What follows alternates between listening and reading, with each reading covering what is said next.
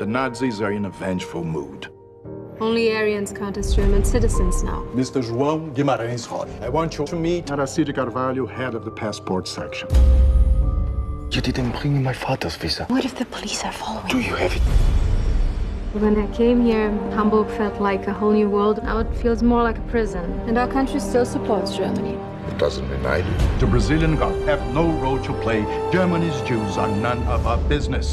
Aracide, be careful. You can get in trouble just for helping them.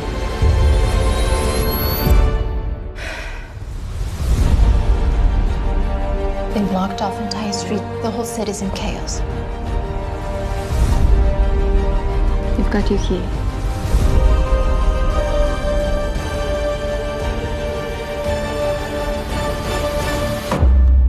Every day feels like it's the last day of freedom in Germany.